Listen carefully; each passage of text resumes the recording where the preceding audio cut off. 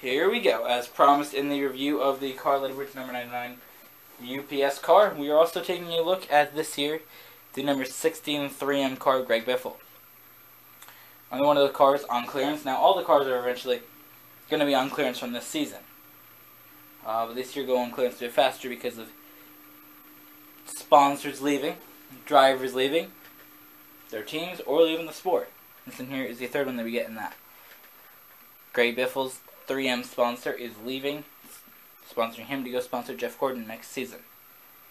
Um, so, Greg Biffle Roush Fenway Racing. Um, there's the car again. Same basic stuff you see there. Here telling about what it is and all that fancy stuff.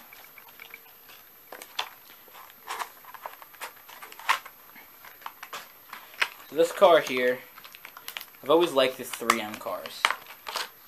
I've always thought they've been a bit cool. Oh, that was one of the only ones that I got from the 2012 season.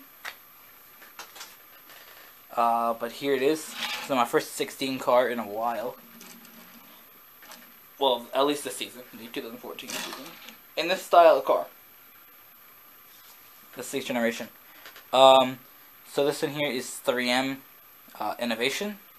Uh, so the front has got the nice front splitters. You can see here it's a bit more easy to see than if you look at it on the number 99 car uh, because of the color, how it pops out a bit more.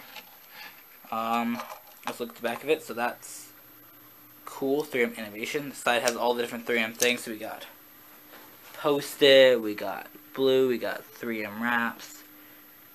Everything that's of 3M. Uh, he also does a lot with the American Red Cross, so 3M does stuff as that there.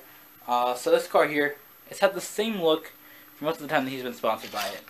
3M on the front, and the look down the side of it with the black and red. We even looked back to the 2008 one that I had. I don't. I should have got it before I made this video. I should have got it out of the box, but very similar look to this.